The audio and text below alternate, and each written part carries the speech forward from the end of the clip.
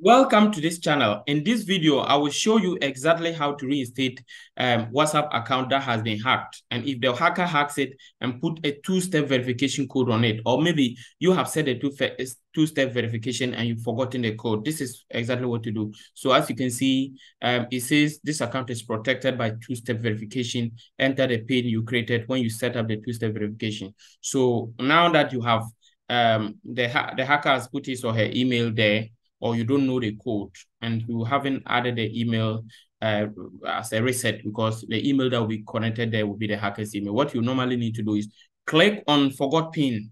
Click on forgot pin. When you click on forgot pin, it will take you to this particular screen where you will be told that um, if you added an email address while setting up two-step verification, you can reset your pin via email.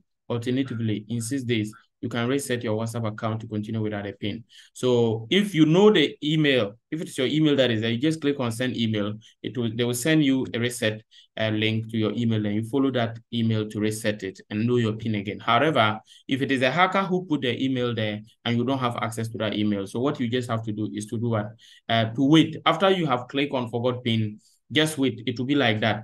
Wait till um, seven days. In seven days time, when you try to open again, you will see that it will automatically open or it can ask you to reset the pin and without even um, the, the email uh, reset link and you'll be able to reset it and then open again. But this one you have to wait for seven days. But the most important thing is that when you get to this stage, the hacker that hacked your account has been logged out and the person cannot still continue to use your WhatsApp account. So this is exactly what you need to do. If you follow this procedure and you don't get a solution, leave your comment in the comment section. You can also follow the WhatsApp link to contact us and we will help you get your WhatsApp reinstated once again. Once again, thank you. Subscribe to this channel for more. See you in the next video. Bye-bye.